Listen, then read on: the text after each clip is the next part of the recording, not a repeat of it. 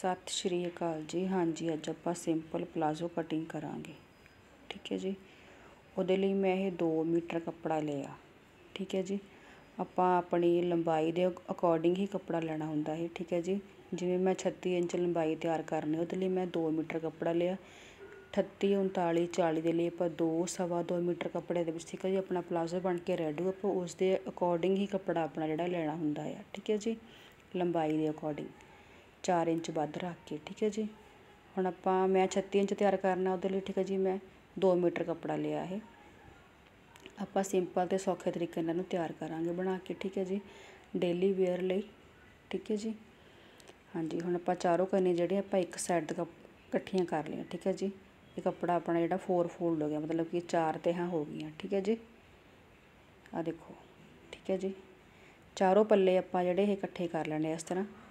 ਹਾਂਜੀ, ਸਭ ਤੋਂ ਪਹਿਲਾਂ ਆਪਾਂ ਨੇ ਦੋ ਜਿਹੜਾ ਇੰਚ ਦਾ ਨਿਸ਼ਾਨ ਲਗਾਉਣਾ, ਉਹ ਆਪਾਂ ਲਗਾਉਣਾ ਬੈਲਟ ਦੇ ਲਈ, ਠੀਕ ਹੈ ਜੀ? ਬੈਲਟ ਪਾਉਣੀ ਤੁਸੀਂ, ਇਲਾਸਟਿਕ ਪਾਉਣੀ ਆ, ਠੀਕ ਹੈ ਜੀ?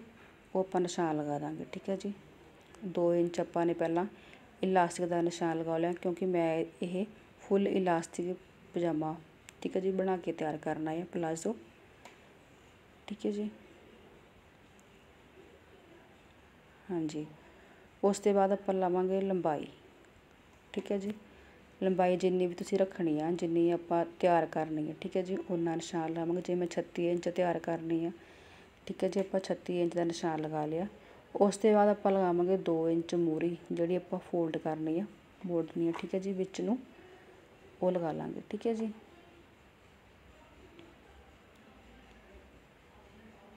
ਲਓ ਜੀ ਆਪਣਾ ਮੂਰੀ ਦਾ ਨਿਸ਼ਾਨ ਲੱਗ ਗਿਆ, ਠੀਕ ਹੈ ਜੀ? ਹਾਂਜੀ, ਹੁਣ ਆਪਾਂ ਲਾਵਾਂਗੇ ਇਸ ਦੀ ਹਿੱਪ, ਆਪਾਂ ਹਿੱਪ ਦੇ ਅਕੋਰਡਿੰਗ ਹੀ ਇਹਨੂੰ ਕਟਿੰਗ ਕਰ ਲਾਂਗੇ ਇਹਦਾ ਆਸਨ ਵੀ ਤੇ ਇਹਦੀ ਹਿੱਪ ਦਾ ਨਿਸ਼ਾਨ ਵੀ, ਠੀਕ ਹੈ ਜੀ? ਜਿਵੇਂ ਹਿੱਪ ਹੈਗੀ 36 ਇੰਚ, ਠੀਕ ਹੈ ਜੀ? 36 ਦਾ ਚੌਥਾ ਹਿੱਸਾ ਹੋ ਗਿਆ 9 ਇੰਚ, ਠੀਕ ਹੈ ਜੀ? ਹਾਫ 18 ਹੋਇਆ, ਠੀਕ ਹੈ ਜੀ? ਡਬਲ ਹਿੱਪ ਆਪਣੀ ਇਹ, ਠੀਕ ਹੈ ਜੀ? ਚੌਥੇ ਹਿੱਸੇ ਦੇ ਹਿਸਾਬ ਨਾਲ, ਠੀਕ ਹੈ ਜੀ? 9 ਇੰਚ ਬਣ ਗਿਆ ਆਪਣਾ 9 ਚੌਕਾ 36 ਠੀਕ ਹੈ ਜੀ? ਤੇ 9 ਦੇ ਵਿੱਚ ਆਪਾਂ ਇਹਨੂੰ 2 ਇੰਚ ਇਹਨੂੰ ਵੱਧ ਰੱਖਾਂਗੇ। ਠੀਕ ਹੈ ਜੀ, ਤੁਸੀਂ ਖੁੱਲਾ ਬਣਾਉਣਾ, ਦੋ ਰੱਖ ਲਓ ਵੱਧ, ਤਿੰਨ ਰੱਖ ਲਓ ਵੱਧ, ਠੀਕ ਹੈ ਜੀ। ਆਪਾਂ ਇਹਨੂੰ 2 ਇੰਚ ਵੱਧ ਰੱਖਾਂਗੇ 9 ਤੇ 2 11 ਇੰਚ, ਠੀਕ ਹੈ ਜੀ। ਅੱਧਾ ਇੰਚ ਆਪਾਂ ਕੰਨੀ ਦਾ ਪਹਿਲਾਂ ਛੱਡ ਦਾਂਗੇ, ਠੀਕ, ਕੰਨੀ ਆਪਾਂ ਵਿੱਚ ਨਹੀਂ ਲਾਵਾਂਗੇ, ਠੀਕ ਹੈ ਜੀ। ਹਾਂਜੀ 11 ਇੰਚ ਤੇ ਆਪਾਂ ਇਹ ਨਿਸ਼ਾਨ ਲਗਾ ਲਿਆ। ਠੀਕ ਹੈ ਜੀ। ਉਸ ਤੋਂ ਬਾਅਦ ਆ ਗਿਆ ਆਪਣਾ ਆਸਣ ਦਾ ਨਿਸ਼ਾਨ, ਠੀਕ ਹੈ ਜੀ। ਜਿਵੇਂ ਆਪਣੀ ਹਿੱਪ 36 ਇੰਚ ਆ, ਠੀਕ ਆ ਜੀ 36 ਦਾ ਚੌਥਾ ਹਿੱਸਾ 9 ਇੰਚ ਆ ਗਿਆ। 9 ਦੇ ਵਿੱਚ ਆਪਾਂ 3 ਇੰਚ ਇਹਨੂੰ ਵੱਧ ਰੱਖਾਂਗੇ 12 ਇੰਚ ਜਿਹੜਾ ਆਪਣਾ ਆਸਣ ਜਿਹੜਾ ਆ, ਨਿਸ਼ਾਨ ਲੱਗੂਗਾ, ਠੀਕ ਹੈ 12 ਇੰਚ ਆਸਣ ਦਾ ਨਿਸ਼ਾਨ, ਠੀਕ ਹੈ ਜੀ 36 ਇੰਚ ਹਿੱਪ ਦੇ ਹਿਸਾਬ ਨਾਲ। ਆਸਣ ਦੀ ਵੀਡੀਓ ਪਿੱਛੇ ਮੈਂ ਲਗਾਈ ਹੋਈ ਹੈ ਠੀਕ ਹੈ ਜੀ, ਤੁਸੀਂ ਆਪਣੀ ਹਿੱਪ ਦੇਖ ਕੇ ਉੱਥੋਂ ਆਪਣਾ ਆਸਣ ਦਾ ਨਿਸ਼ਾਨ ਜਿਹੜਾ ਹੈ ਦੇਖ ਸਕਦੇ ਹੋ, ਠੀਕ ਹੈ ਜੀ। ਵੀਡੀਓ ਨੂੰ ਅੰਤ ਤੱਕ ਜ਼ਰੂਰ ਦੇਖਿਓ, ਤੁਹਾਨੂੰ ਸਾਰਾ ਪਤਾ ਲੱਗ ਜਾਊਗਾ, ਠੀਕ ਹੈ ਜੀ। ਹਾਂਜੀ, ਇੱਥੋਂ ਵੀ ਆਪਾਂ 11 ਇੰਚ ਰੱਖ ਲੈਣਾ। ਠੀਕ ਹੈ ਜੀ। ਹਾਂਜੀ, ਹੁਣ ਆਪਾਂ ਜਿਹੜਾ ਆਸਣ ਦਾ ਨਿਸ਼ਾਨ ਲਗਾਇਆ ਸੀ ਆਪਾਂ, ਉਹਨੂੰ ਸਿੱਧਾ ਕਰ ਲਾਂਗੇ ਇਸ ਤਰ੍ਹਾਂ। ਠੀਕ ਹੈ ਜੀ। ਹਾਂਜੀ, ਹੁਣ ਆਪਾਂ ਜਿਹੜੀ ਗੁਲਾਈ ਪਾਉਣੀ ਹੈ ਇਹਨੂੰ, ਠੀਕ ਹੈ। ਗੁਲਾਈ ਦੇ ਲਈ ਆਪਾਂ ਇਹਨੂੰ ਮੀਡੀਅਮ ਸਾਈਜ਼ ਦੇ ਵਿੱਚ ਆਪਾਂ 3 ਇੰਚ ਰੱਖਾਂਗੇ, ਹੈਵੀ ਸਾਈਜ਼ ਦੇ ਵਿੱਚ ਆਪਾਂ ਇਹਨੂੰ 4 ਇੰਚ ਰੱਖਾਂਗੇ, ਠੀਕ ਹੈ ਜੀ। ਹੁਣ ਆਪਣੇ ਕੋਲ ਮੀਡੀਅਮ ਸਾਈਜ਼ ਆ ਇਹ, ਠੀਕ ਹੈ ਜੀ। ਆਪਾਂ 3 ਇੰਚ ਤੋਂ ਗਲਾਈ ਪਾਵਾਂਗੇ, ਠੀਕ ਹੈ ਜੀ? 3 ਇੰਚ ਵੱਧ ਰੱਖ ਕੇ, ਠੀਕ ਹੈ ਜੀ? ਹਾਂਜੀ ਹੈਵੀ ਸਾਈਜ਼ 4 ਜਾਂ 4.5 ਵੀ ਤੁਸੀਂ ਕਰ ਸਕਦੇ ਹੋ, ਠੀਕ ਹੈ ਜੀ? ਹਾਂਜੀ, ਹੁਣ ਆਪਾਂ ਇਹਦੀ ਗੁਲਾਈ ਪਾਵਾਂਗੇ, ਜਿਹੜੀ ਆਪਾਂ ਕਾਟ ਪਾਉਣੀ ਹੈ ਇਹਨੂੰ, ਠੀਕ ਹੈ ਜੀ? ਨਾਰਮਲ ਸਾਈਜ਼ ਦੇ ਵਿੱਚ ਤੁਸੀਂ ਇਹਨੂੰ 1.5 ਇੰਚ ਵਿੱਚ ਪਾਓ ਮੀਡੀਅਮ ਸਾਈਜ਼ ਦੇ ਵਿੱਚ, ਠੀਕ ਹੈ ਜੀ? ਤੁਸੀਂ ਜੇ ਹੈਵੀ ਸਾਈਜ਼ 'ਚ ਬਣਾ ਤੁਸੀਂ ਇਹਨੂੰ ਘਟਾ ਕੇ ਪਾਉਣਾ, ਠੀਕ ਹੈ ਜੀ? 1 ਇੰਚ ਤੋਂ 1 ਸਵਾ 1 ਤੋਂ, ਠੀਕ ਹੈ ਜੀ? ਹੈਵੀ ਸਾਈਜ਼ ਦੇ ਵਿੱਚ। ਵਧਾਉਣੀ ਨਹੀਂ ਹੈਗੀ, ਤੁਸੀਂ ਇਹ ਕਾਟ ਉੱਥੇ ਘਟਾ ਕੇ ਪਾਉਣੀ ਆ, ਠੀਕ ਹੈ? ਕਿਉਂਕਿ ਉੱਥੇ ਪ੍ਰੋਪਰਲੀ ਸ਼ੇਪ ਆਪਣੀ ਜਿਹੜੀ ਬਣੂਗੀ, ਠੀਕ ਹੈ ਜੀ? ਹਾਂਜੀ। ਹੁਣ ਆਪਾਂ ਇੱਥੋਂ ਸੈਂਟਰ ਕਰ ਲਾਂਗੇ ਮੂਰੀ ਦੇ ਨਿਸ਼ਾਨ ਦੇ ਲਈ, ਠੀਕ ਹੈ ਜੀ? ਇਹ ਆਪਣਾ ਅੱਧਾ ਇੰਚ ਆਪਾਂ ਜਿਹੜਾ ਕੰਨੀ ਸਾਈਡ ਤੇ ਛੱਡ ਕੇ ਆਪਾਂ 14 ਇੰਚ, ਠੀਕ ਹੈ ਜੀ, ਆਪਣਾ ਇਹ ਬਣਦਾ ਆ, ਠੀਕ ਹੈ ਜੀ? ਹਾਂਜੀ। ਸੈਂਟਰ ਆਪਣਾ ਹੋ ਗਿਆ 14 ਇੰਚ, ਦੇ ਹਿਸਾਬ ਨਾਲ 7 ਇੰਚ ਆਪਣਾ ਜਿਹੜਾ ਸੈਂਟਰ ਹੋਊਗਾ, ਦੇਖੋ। ਦੇਖੋ, ਠੀਕ ਹੈ ਜੀ। ਦੁਬਾਰਾ ਦੇਖੋ। ਹਾਂਜੀ 14 ਇੰਚ ਆ ਗਿਆ। 14 ਦੇ ਹਿਸਾਬ ਨਾਲ ਜਿਹੜਾ ਹੈ ਆਪਣਾ 7 ਇੰਚ ਸੈਂਟਰ ਹੋ ਗਿਆ, ਠੀਕ ਹੈ ਜੀ। ਹਾਂਜੀ, ਇਹਦੇ ਅਕੋਰਡਿੰਗ ਆਪਾਂ ਜਿਹੜਾ ਮੂਰੇ ਦਾ ਨਿਸ਼ਾਨ ਲਗਾਵਾਂਗੇ, ਸੈਂਟਰ ਦੇ ਅਕੋਰਡਿੰਗ ਠੀਕ ਹੈ ਜੀ। ਲਓ ਜੀ। ਹਾਂਜੀ। 14 ਇੰਚ ਹੀ ਆਪਾਂ ਅੱਧਾ ਇੰਚ ਕਰਨੀ ਨੂੰ ਛੱਡ ਕੇ ਇੱਕ ਸਾਈਡ ਤੇ ਇੱਧਰ ਨਿਸ਼ਾਨ ਲਗਾ ਲਾਂਗੇ। ਜਿੱਥੇ ਆਪਾਂ ਮੂਰੀ ਰੱਖਣੀ ਹੈ, ਠੀਕ ਹੈ ਜੀ ਨੀਚੇ, ਠੀਕ ਹੈ ਜੀ ਬਾਟਮ ਵਾਲੀ ਸਾਈਡ 14 ਇੰਚ ਨਿਸ਼ਾਨ ਲਗਾ ਲਿਆ। 14 ਦਾ ਆਪਾਂ ਸੈਂਟਰ ਕਰ ਲੈਣਾ 7 ਇੰਚ, ਠੀਕ ਹੈ ਜੀ। ਹੁਣ ਆਪਾਂ ਰੱਖਾਂਗੇ ਮੂਰੀ ਇਹਦੀ। ਮੂਰੀ ਆਪਾਂ ਕਰਨੀ ਹੈ 8 ਇੰਚ ਤਿਆਰ, ਠੀਕ ਹੈ ਜੀ। ਉਹਦੇ ਵਿੱਚ ਆਪਾਂ 2 ਇੰਚ ਵੱਧ ਰੱਖਾਂਗੇ ਇਹਨੂੰ 10 ਇੰਚ, ਠੀਕ ਹੈ ਜੀ। 5 ਇੰਚ ਆਪਾਂ 7 ਇੰਚ ਦੇ ਨਿਸ਼ਾਨ ਦੇ ਸੈਂਟਰ ਕਰ ਲੈਣਾ, ਠੀਕ ਹੈ ਜੀ ਇਦਾਂ 5 ਇੰਚ ਆਪਣਾ ਨਿਸ਼ਾਨ ਇੱਧਰ ਆ ਜਾਊਗਾ। 5 ਇੰਚ ਆਪਾਂ ਉੱਧਰ ਆ ਜਾਊਗਾ, ਠੀਕ ਹੈ ਜੀ? 10 ਇੰਚ ਆਪਾਂ ਰੱਖ ਲਿਆ। ਠੀਕ ਹੈ ਜੀ 2 ਇੰਚ ਵੱਧ ਰੱਖ ਕੇ ਮੂਰੀ। ਲਓ ਜੀ। ਠੀਕ ਹੈ ਜੀ? ਹੁਣ ਆਪਾਂ ਜਿਹੜਾ ਆਸਣ ਦੇ ਨਿਸ਼ਾਨ ਨਾਲ ਬੁਲਾਵਾਂਗੇ ਉਹਨੂੰ। ਠੀਕ ਹੈ ਜੀ, ਸਭ ਤੋਂ ਪਹਿਲਾਂ ਆਪਾਂ ਸੈਂਟਰ ਕਰ ਦੇਣਾ, ਤਾਂ ਜੋ ਤੁਹਾਨੂੰ ਪਤਾ ਲੱਗੇ ਕਿ ਆਪਾਂ ਮੂਰੀ ਦਾ ਨਿਸ਼ਾਨ ਆਪਾਂ ਸੈਂਟਰ ਕਰਕੇ ਲਗਾਇਆ। ਠੀਕ ਹੈ ਜੀ? ਆ ਦੇਖੋ।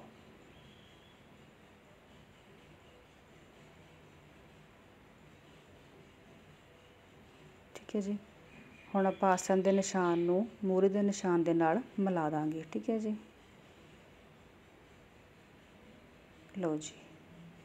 ਤੁਸੀਂ ਇੰਚੀ ਟੇਪ ਨਾਲ ਹੀ ਮਿਲਾ ਸਕਦੇ ਹੋ, ਗੁਲਾਈ ਦੇ ਵਿੱਚ ਥੋੜੀ ਜਿਹੀ ਅੱਗੇ ਤੋਂ ਆਸਣ ਤੋਂ ਗੁਲਾਈ ਪਾ ਕੇ, ਠੀਕ ਹੈ ਜੀ, ਇੰਚੀ ਟੇਪ ਨਾਲ ਹੀ ਮਿਲਾ ਸਕਦੇ ਆ ਔਰ ਤੁਹਾਡੇ ਕੋਲ ਸ਼ੇਪਰ ਫੱਟੀ ਹੈਗੀ, ਤੁਸੀਂ ਉਹਦੇ ਨਾਲ ਹੀ ਮਿਲਾ ਸਕਦੇ ਹੋ। ਉਸੇ ਤਰ੍ਹਾਂ ਆਪਾਂ ਦੂਸਰੇ ਪਾਸੇ ਮਿਲਾ ਦੇਣਾ, ਠੀਕ ਹੈ ਜੀ।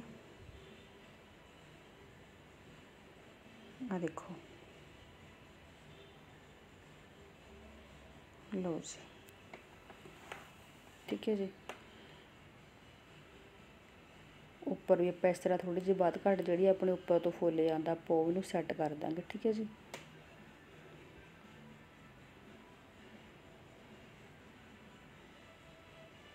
ਲੋ ਜੀ ਵੀ ਆਪਾਂ ਨਿਸ਼ਾਨ ਇਸੇ ਤਰ੍ਹਾਂ ਲਗਾ ਦਾਂਗੇ। ਬਰਾਬਰ ਕਰ ਦਾਂਗੇ, ਠੀਕ ਹੈ ਜੀ, ਗੁਲਾਈ ਦੇ ਵਿੱਚ। ਇਹਨੂੰ ਆਪਾਂ ਗੁਲਾਈ ਦੇ ਵਿੱਚ ਇਸ ਤਰ੍ਹਾਂ ਸ਼ੇਪ ਦੇ ਦੇਣੀ ਹੈ, ਠੀਕ ਹੈ ਜੀ। ਲਓ ਜੀ। ਪਲਾਜ਼ੋ ਦੇ ਨਿਸ਼ਾਨ ਆਪਣੇ ਲੱਗ ਗਏ, ਠੀਕ ਹੈ ਜੀ। ਹੁਣ ਆਪਾਂ ਇਹਨੂੰ ਕਟਿੰਗ ਕਰਾਂਗੇ, ਠੀਕ ਹੈ ਜੀ। ਤੁਸੀਂ ਈਜ਼ੀਲੀ ਇਹਨੂੰ ਬਹੁਤ ਸੌਖੇ ਤਰੀਕੇ ਨਾਲ ਇਸ ਤਰ੍ਹਾਂ ਕੱਟ ਕੇ ਆਪਣੇ ਘਰ ਦੇ ਵਿੱਚ ਮਤਲਬ, ਠੀਕ ਹੈ ਜੀ, ਤਿਆਰ ਕਰ ਸਕਦੇ ਹੋ। ਆਪਣੇ ਹਿੱਪ ਦੇ ਅਕੋਰਡਿੰਗ ਠੀਕ ਹੈ ਜੀ। ਆਸਨ ਦੀ ਵੀਡੀਓ ਮੈਂ ਪਿੱਛੇ ਮੈਂ ਲਗਾਈ ਹੋਈ ਹੈ, ਤੁਸੀਂ ਹਿੱਪ ਦੇ ਅਕੋਰਡਿੰਗ ਆਪਣਾ ਆਸਨ ਉੱਥੋਂ ਦੇਖ ਸਕਦੇ ਹੋ, ਠੀਕ ਹੈ ਜੀ। ਹੁਣ ਆਪਾਂ ਇਹਦੀ ਕਟਿੰਗ ਕਰ ਦਾਂਗੇ।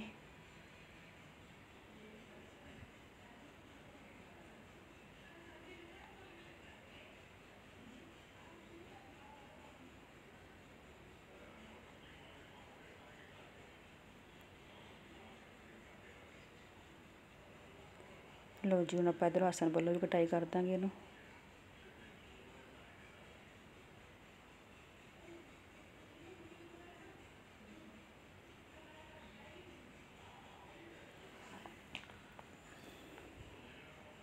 ਇਹ ਤੁਸੀਂ ਗੁਲਾਈ ਦੇ ਵਿੱਚ ਇਹਨੂੰ ਆਸਣ ਕੋਲੋਂ ਗੁਲਾਈ ਦੇ ਵਿੱਚ, ਠੀਕ ਹੈ ਜੀ ਕਟਿੰਗ ਕਰਨੀ ਹੈ ਠੀਕ ਹੈ ਜੀ, ਬਿਲਕੁਲ ਹੈ ਨਾ ਗੁਲਾਈ ਦੇ ਵਿੱਚ ਸ਼ੇਪ ਦੇਣੀ ਆ।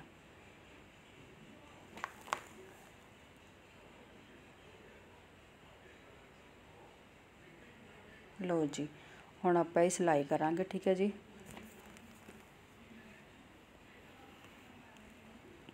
ਹਾਂਜੀ ਵਿੱਚੋਂ ਆਪਾਂ ਪਹਿਲਾਂ ਇਹਨੂੰ ਕਟਿੰਗ ਕਰ ਦਾਂਗੇ, ਠੀਕ ਹੈ ਜੀ। ਆਪਾਂ ਈਜ਼ੀਲੀ ਜਿਹੜਾ ਇਹਨੂੰ ਸਿਲਾਈ ਕਰਨ ਦੱਸਾਂਗੇ ਤੁਹਾਨੂੰ ਹੁਣ, ਸੌਖੇ ਤਰੀਕੇ ਨਾਲ ਹੀ ਠੀਕ ਹੈ ਜੀ। ਹਾਂਜੀ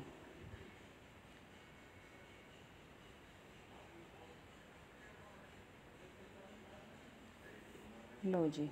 ਸਭ ਤੋਂ ਪਹਿਲਾਂ ਆਪਾਂ ਦੋਨੋਂ ਆਸਨ ਜਿਹੜੇ ਆਪਾਂ ਅਲੱਗ-ਅਲੱਗ ਕਰ ਲਏ, ਠੀਕ ਹੈ ਜੀ? ਆਪਣੇ ਇਹ ਚਾਰ ਪੀਸ ਨੇ, ਠੀਕ ਹੈ ਜੀ? ਆਪਾਂ ਦੋਨੋਂ ਆਸਨਾਂ ਦੇ ਪਹਿਲਾਂ ਇਦਾਂ ਗੁਲਾਈ ਦੇ ਵਿੱਚ ਸਿਲਾਈ ਲਗਾਵਾਂਗੇ, ਠੀਕ ਹੈ ਜੀ? ਅੱਧਾ ਪੌਣਾ ਇੰਚ ਛੱਡ ਕੇ ਸਿਲਾਈ ਲਗਾ ਦਾਂਗੇ ਗੁਲਾਈ ਦੇ ਵਿੱਚ, ਠੀਕ ਹੈ ਜੀ? ਆ ਦੇਖੋ ਆਪਾਂ ਗੁਲਾਈ ਲਗਾਈ, ਗੁਲਾਈ ਦੇ ਵਿੱਚ ਆਪਾਂ ਸਿਲਾਈ ਨੂੰ ਲਗਾਇਆ ਇਸ ਤਰ੍ਹਾਂ। ਇਸ ਤਰ੍ਹਾਂ ਆਪਾਂ ਦੂਜੇ ਆਸਨ ਤੇ ਲਗਾ ਲਾਂਗੇ। ਠੀਕ ਹੈ ਜੀ ਆ ਦੇਖੋ। ਠੀਕ ਹੈ ਜੀ? ਹੁਣ ਆਪਾਂ ਜਿਹੜੀਆਂ ਇਹਦੀ ਸਾਈਡ ਵਾਲੇ ਸੀਣਾ ਆ, ਪਹਿਲਾਂ ਉਹ ਲਗਾਵਾਂਗੇ, ਠੀਕ ਹੈ ਜੀ? ਜਿਹੜੀਆਂ ਬਾਹਰ ਵਾਲੀ ਸਾਈਡ ਵਾਲੇ ਸੀਨਾ ਸੀ ਆਪਣੀਆਂ, ਪਹਿਲਾਂ ਆਪਾਂ ਉਹਨਾਂ ਨੂੰ ਅਟੈਚ ਕਰਾਂਗੇ। ਐਸਨ, ਆਸਨ ਜਿਹੜਾ ਆਪਾਂ ਸੈਂਟਰ ਦੇ ਵਿੱਚ ਕਰ ਲੈਣੇ ਦੋਨੋਂ, ਠੀਕ ਹੈ ਜੀ?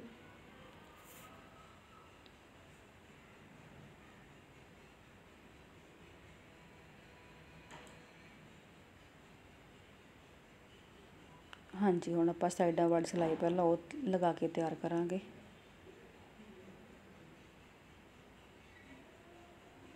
ਠੀਕ ਹੈ ਜੀ। ਆ ਦੇਖੋ ਆਪਾਂ ਸਾਈਡ ਵਾਲੀ ਸਿਲਾਈ ਦੋਨੋਂ ਲਾ ਲਈਆਂ। ਹੁਣ ਆਪਾਂ ਆਸਣ ਵਾਲੀ ਸਿਲਾਈ ਲਾਵਾਂਗੇ, ਠੀਕ ਹੈ ਜੀ। ਆਸਨ ਵਾਲੀ ਸਿਲਾਈ ਆਪਾਂ ਦੋਨੋਂ ਜੜੀਆਂ ਜਿਹੜੀਆਂ ਮੂਹਰੇ ਤੋਂ ਸਟਾਰਟ ਕਰਨੀ ਹੈ ਠੀਕ ਹੈ ਜੀ। ਇਦਾਂ ਹੀ ਗੁਲਾਈ ਦੇ ਵਿੱਚ ਆਪਾਂ ਸਿਲਾਈ ਲਗਾ ਦੇਣੀ ਹੈ, ਠੀਕ ਹੈ ਜੀ। ਦੋਨੋਂ ਸਾਈਡਾਂ ਤੋਂ ਆਪਾਂ, ਮਤਲਬ ਪਹਿਲਾਂ ਇੱਕ ਸਾਈਡ ਦੀ ਮੂਹਰੇ ਤੋਂ ਲਗਾ ਲੈਣੀ ਆਸਣ ਵੱਲ ਨੂੰ, ਫਿਰ ਦੂਜੀ ਸਾਈਡ ਦੀ ਮੂਹਰੇ ਤੋਂ ਆਸਣ ਵੱਲ ਨੂੰ, ਠੀਕ ਹੈ ਜੀ। ਆਸਣ ਤੇ ਆਪਾਂ ਸਿਲਾਈ ਜਿਹੜੀ ਪੱਕੀ ਕਰ ਦੇਣੀ ਆ, ਠੀਕ ਹੈ ਜੀ। ਦੇਖੋ ਆਪਾਂ ਸਿਲਾਈ ਲਗਾ ਲਈ ਇਸ ਤਰ੍ਹਾਂ। ਹੁਣ ਆਪਾਂ ਇਹਦੀ ਮੂਰੀਆਂ ਫੋਲਡਿੰਗ ਕਰਾਂਗੇ, ਠੀਕ ਹੈ ਜੀ।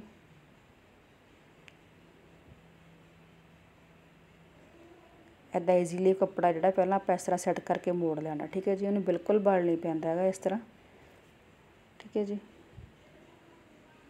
ਸਿਲਾਈ ਆਪਾਂ ਬਿਲਕੁਲ ਹੌਲੀ ਹੌਲੀ ਲਾਉਣੀ ਹੈ, ਖਿੱਚ ਕੇ ਨਹੀਂ ਲਾਉਣੀ ਹੈਗੀ, ਠੀਕ ਹੈ ਜੀ। ਖਿੱਚ ਕੇ ਲਗਾਵਾਂਗੇ ਤਾਂ ਬਲ ਪਊਗਾ। ਈਜ਼ੀਲੀ ਆਪਾਂ ਕੱਪੜੇ ਨੂੰ ਜਿਹੜਾ ਅੰਦਰ ਨੂੰ ਫੋਲਡਿੰਗ ਕਰੀ ਜਾਣੀ ਆ ਸਿਲਾਈ ਲਗਾਈ ਜਾਣੀ ਹੈ ਠੀਕ ਹੈ ਜੀ?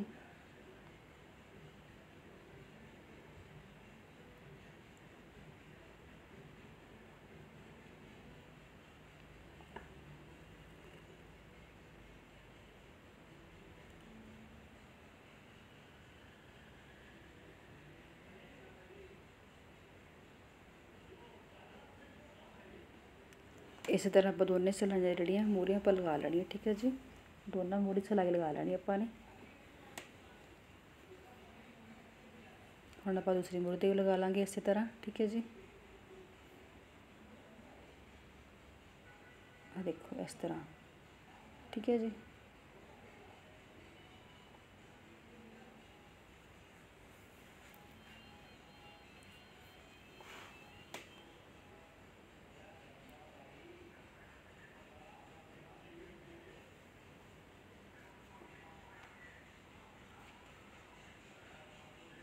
ਠੀਕ ਹੈ ਜੀ, ਲਓ ਜੀ ਆਪਣੀ ਮੂਰੀ ਇਹ ਵੀ ਫੋਲਡਿੰਗ ਹੋਣੀ ਹੋ ਗਈ ਆ, ਠੀਕ ਹੈ ਜੀ। ਉਸ ਤੋਂ ਬਾਅਦ ਆਪਾਂ ਇਲਾਸਟਿਕ ਪਾਉਣੀ, ਤੁਹਾਨੂੰ ਦੱਸਾਂਗੇ ਵੀ ਆ ਇਲਾਸਟਿਕ ਜਿਹੜੀ ਆਪਾਂ ਕਿਸ ਤਰ੍ਹਾਂ ਪਾ ਸਕਦੇ ਆ ਠੀਕ ਹੈ ਜੀ। ਲਓ ਜੀ, ਠੀਕ ਹੈ ਜੀ, ਦੋਨੋਂ ਮੂਰੀਆਂ ਆਪਣੀਆਂ ਫੋਲਡਿੰਗ ਹੋ ਗਈਆਂ। ਹੁਣ ਆਪਾਂ ਇਸ ਤਰ੍ਹਾਂ ਜਿਹੜਾ ਪਲਾਜ਼ੋ ਆਪਣਾ ਸੈੱਟ ਕਰਕੇ ਰੱਖਿਆ ਹੈ ਠੀਕ ਹੈ ਜੀ। ਆਸਣ ਦੀ ਆਪਾਂ ਇੱਕ ਸਾਈਡ ਤੋਂ, ਠੀਕ ਹੈ ਜੀ, ਜਿਵੇਂ 2 ਇੰਚ ਆਪਾਂ ਕੱਪੜਾ ਲੈ ਲਿਆ ਪਹਿਲਾਂ, ਇੱਕ ਸਾਈਡ ਆਪਾਂ ਰੱਖ ਲਈ ਇਸ ਤਰ੍ਹਾਂ, ਠੀਕ ਹੈ ਜੀ, ਦੂਜੀ ਸਾਈਡ ਦੇ ਜਿਹੜੀ ਆਸਨ ਦੀ ਆਪਣਾ ਉਹ ਤੋਂ ਆਪਾਂ 2 ਇੰਚ ਵਧਾ ਕੇ ਇਲਾਸਟਿਕ ਰੱਖ ਲਈ ਇਸ ਤਰ੍ਹਾਂ ਇਲਾਸਟਿਕ ਨੂੰ ਫਿਰ ਆਪਾਂ ਡਬਲ ਕਰ ਲੈਣਾ, ਠੀਕ ਹੈ ਜੀ, ਇਸ ਤਰ੍ਹਾਂ, ਠੀਕ ਹੈ ਜੀ, ਉਸ ਤੋਂ ਬਾਅਦ ਆਪਾਂ 2 ਇੰਚ ਜਿਹੜਾ ਵਧਾ ਕੇ ਰੱਖਿਆ, ਉਸ ਤਰ੍ਹਾਂ ਡਬਲ ਕਰ ਲੈਣਾ, ਫਿਰ ਆਪਾਂ ਅੱਧਾ ਇੰਚ ਥੋੜਾ ਜਿਹਾ ਵਧਾ ਕੇ ਆਪਾਂ ਸਿਲਾਈ ਲਈ ਉਹਨੂੰ ਵਧਾ ਕੇ ਰੱਖਿਆ ਇਸ ਤਰ੍ਹਾਂ ਕਿ ਇਲਾਸਟਿਕ ਜਿਹੜੀ ਤੁਹਾਡੀ ਬਿਲਕੁਲ ਸਹੀ ਆਊਗੀ, ਨਾ ਟਾਈਟ ਹੋਊਗੀ, ਨਾ ਖੁੱਲੀ ਹੋਊਗੀ, ਠੀਕ ਹੈ ਜੀ? ਪ੍ਰੋਪਰਲੀ ਸਹੀ ਆਊਗੀ। ਇੱਕ ਆਸਨ ਤੋਂ ਤੁਸੀਂ 2 ਇੰਚ ਵਧਾ ਕੇ ਡਬਲ ਇਲਾਸਟਿਕ ਲੈਣੀ ਆ, ਠੀਕ ਹੈ ਜੀ? ਹਾਂਜੀ। ਹੁਣ ਅਸੀਂ ਇਹਦਾ ਇਲਾਸਟਿਕ ਤੁਹਾਨੂੰ ਪਾਉਣੀ ਦੱਸਾਂਗੇ। ਸਭ ਤੋਂ ਪਹਿਲਾਂ ਆਪਾਂ ਇਲਾਸਟਿਕ ਦਾ 2 ਇੰਚ ਦੇ ਨਿਸ਼ਾਨ ਜਿਹੜਾ ਆਪਾਂ ਛੱਡਿਆ ਸੀ ਇਲਾਸਟਿਕ ਦਾ ਰੱਖ ਲਈ ਵਿੱਚ, ਠੀਕ ਹੈ ਜੀ? ਸਿਲਾਈ ਤੁਸੀਂ ਇਲਾਸਟਿਕ ਦੇ ਉੱਪਰ ਨਹੀਂ ਲਗਾਉਣੀ ਹੈਗੀ, ਪਹਿਲਾਂ ਹੀ, ਪਹਿਲਾਂ ਇਲਾਸਟਿਕ ਤੋਂ ਨੀਚੇ ਹੀ ਲਗਾਉਣੀ ਹੈ ਸਿਲਾਈ, ਠੀਕ ਹੈ ਜੀ। ਉਸ ਤੋਂ ਬਾਅਦ ਆਪਾਂ ਤੁਹਾਨੂੰ ਦੱਸਾਂਗੇ ਆਪਾਂ ਉੱਪਰ ਸਿਲਾਈ ਕਿਸ ਤਰ੍ਹਾਂ ਲਗਾਉਣੀ ਇਲਾਸਟਿਕ ਦੀ, ਠੀਕ ਹੈ ਜੀ।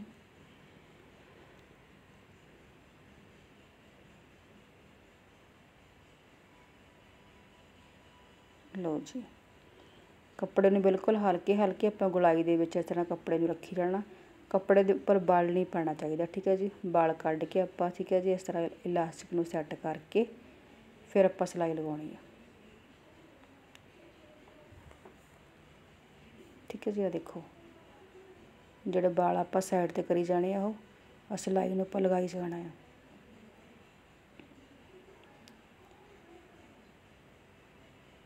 ਠੀਕ ਹੈ ਜੀ?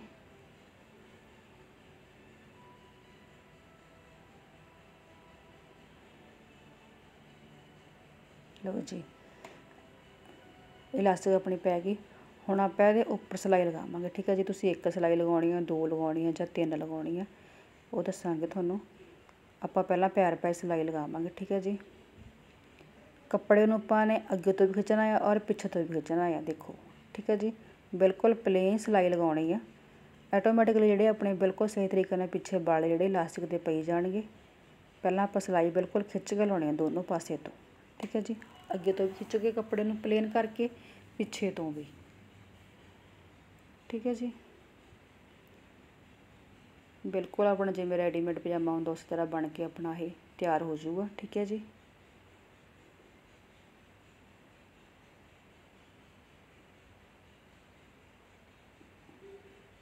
ਲਓ ਜੀ। ਇਸੇ ਤਰ੍ਹਾਂ ਆਪਾਂ ਇੱਕ ਸਿਲਾਈ ਹੋਰ ਲਗਾ ਲਾਂਗੇ, ਠੀਕ ਹੈ ਜੀ। ਦੋ ਲਗਾਉਣੀ ਹੈ, ਤੁਸੀਂ ਤਿੰਨ ਲਗਾਉਣੀ ਹੈ। ਇਸ ਤਰ੍ਹਾਂ ਖਿੱਚ ਕੇ ਸਿਲਾਈ ਲਗਾਉਂਗੇ, ਠੀਕ ਹੈ ਜੀ।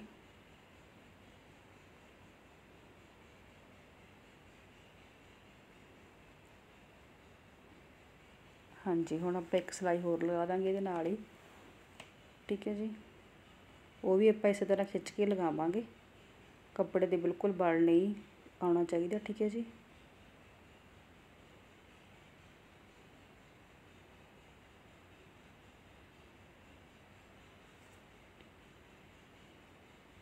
ਹੈ ਜੀ ਆ ਦੇਖੋ, ਇਸ ਤਰ੍ਹਾਂ ਆਪਾਂ ਖਿੱਚ ਕੇ ਸਿਲਾਈ ਲਗਾ ਦੇਣੀ ਆ।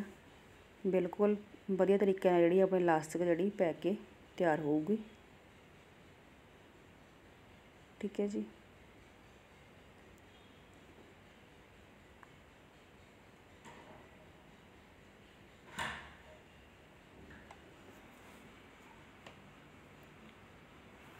ਠੀਕ ਹੈ ਜੀ। ਲੋ ਜੀ ਲਾਸਟਿਕ ਆਪਾਂ ਪਾਤੀ ਦੇਖੋ, ਐਨ ਵਧੀਆ ਸ਼ੇਪ ਬਣੀ ਹੈ ਠੀਕ ਹੈ ਜੀ। ਲੋ ਜੀ ਪਲਾਜ਼ੋ ਆਪਣਾ ਬਣ ਕੇ ਰੈਡੀ ਆ। ਵੀਡੀਓ ਵਧੀਆ ਲੱਗੀ ਤੇ ਚੈਨਲ ਨੂੰ ਸਬਸਕ੍ਰਾਈਬ ਜ਼ਰੂਰ ਕਰਿਓ, ਠੀਕ ਹੈ ਜੀ। ਔਰ ਲਾਈਕ ਕਰਕੇ ਜ਼ਰੂਰ ਜਾਇਓ, ਠੀਕ ਹੈ ਜੀ। ਕਮੈਂਟ ਕਰਕੇ ਜ਼ਰੂਰ ਦੱਸੋ ਤੁਹਾਨੂੰ ਵੀਡੀਓ ਸਾਡੀ ਕਿਸ ਤਰ੍ਹਾਂ ਲੱਗੀ, ਠੀਕ ਹੈ ਜੀ। ਆਸਨ ਦੀ ਵੀਡੀਓ ਮੈਂ ਪਿੱਛੇ ਮੈਂ ਲਗਾਈ ਹੋਈ, ਤੁਸੀਂ ਉੱਥੋਂ ਆਸਨ ਆਪਣਾ ਦੇਖ ਸਕਦੇ ਹੋ, ਆਪਣੀ ਹਿੱਪ ਦੇ ਅਕੋਰਡਿੰਗ ਪਹਿਲਾਂ ਮੈਂ ਸਿੰਗਲ ਹਿੱਪ ਲਿਖੀ ਹੋਈ ਆ, ਫਿਰ ਡਬਲ ਲਿਖੀ ਹੋਈ ਹੈ ਠੀਕ ਹੈ ਜੀ। ਉਸ ਦੇ ਅਕੋਰਡਿੰਗ ਤੁਸੀਂ ਆਪਣਾ ਆਸਣ ਜਿਹੜਾ ਆ, ਤੁਸੀਂ ਦੇਖ ਸਕਦੇ ਹੋ, ਠੀਕ ਹੈ ਜੀ?